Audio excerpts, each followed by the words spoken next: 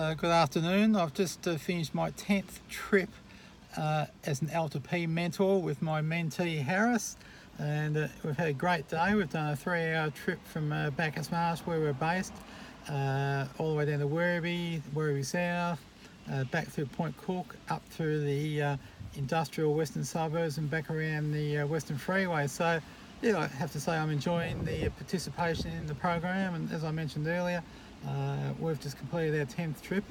How have you found it so far, Harris? uh, enjoyable.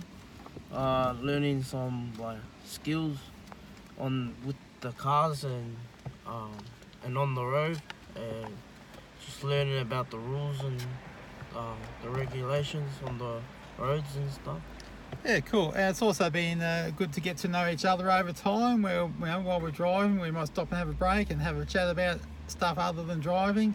And it's been good to see how you're going so well with your transition from uh, high school into the workforce. You didn't have much time off, so straight into it.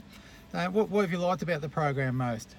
Um, just driving around, uh, like taking back roads and stuff, and like seeing like a lot of um, land, like farms areas and the beaches and stuff.